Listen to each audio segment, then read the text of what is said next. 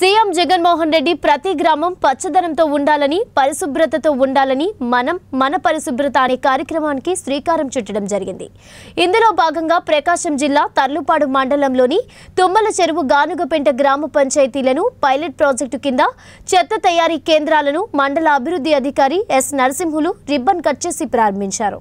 ముందుగా జిల్లా కలెక్టర్ పోల భాస్కర్ ఆదేశాల మేరకు మండలంలోని తుమ్మల చెరువు గానుగపెంట గ్రామ పంచాయతీలలో సచివాలయ ఉద్యోగులకు గ్రీన్ అంబాసిడర్లకు గ్రామ వాలంటీర్లకు మనం మన పరిశుభ్రతపై అవగాహన సదస్సు నిర్వహించారు.